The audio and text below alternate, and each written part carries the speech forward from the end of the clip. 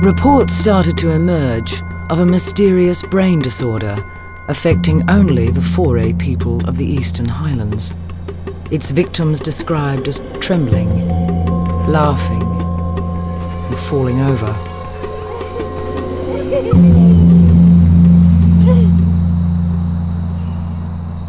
The first reports about Kuru in the general literature came from anthropologists describing Kuru as a psychosomatic disease. Some kind of reaction to the change in their world with the advent of the Australian administration.